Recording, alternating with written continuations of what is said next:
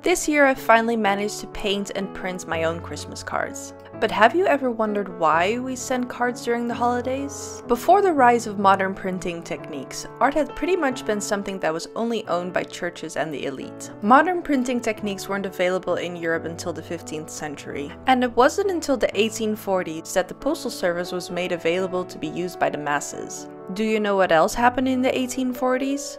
Charles Dickens wrote A Christmas Carol, Queen Victoria of England married Prince Albert, and because of their union, many Christmas traditions were made popular, including the sending of Christmas cards.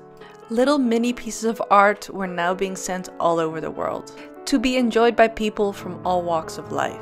And in a world before we had screens, People used to collect these cards and save them in albums to be enjoyed later. I love the idea of Christmas cards being mini pieces of art, and I hope mine will be enjoyed in the same way.